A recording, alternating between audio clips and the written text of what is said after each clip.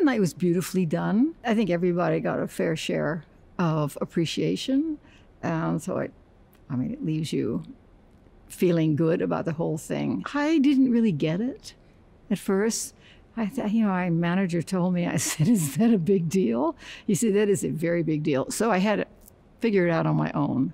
I, I'm not good in the world of awards, but it was pretty clear to me that this was seismic. I mean, this was one that I couldn't really ignore in any way, shape, or form. There's no word for, no verb for a synonym for honors, to be honored, but I feel, I feel honored, yeah.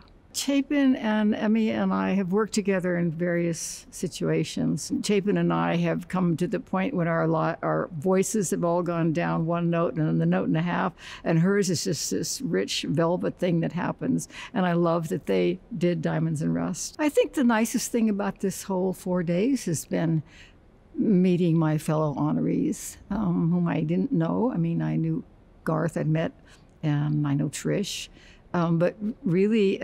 Puts us in such an, a frame of mind and a feeling of openness that it's just you become very chummy after a couple of days. By the end, we really felt like this kind of insane family. I mean, I'm sure I'm not the first of the honorees to mention the fact that, and what everybody knows, we're coming out of the Stone Age of darkness, of, you know, sort of like anti culture.